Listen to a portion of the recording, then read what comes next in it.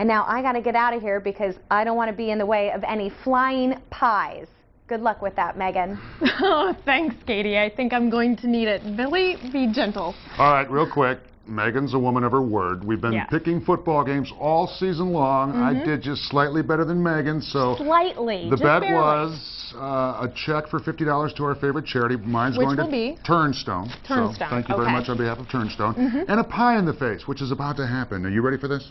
I guess I am ready for this, as ready as I'm going to be. I'll be. give you a countdown. Three, Okay. two, one. Oh, yeah. Look at Oh, I think I inhaled some of that. Oh, poor Megatron. Oh, Thanks so much. How's it taste? I don't know. Have a lick.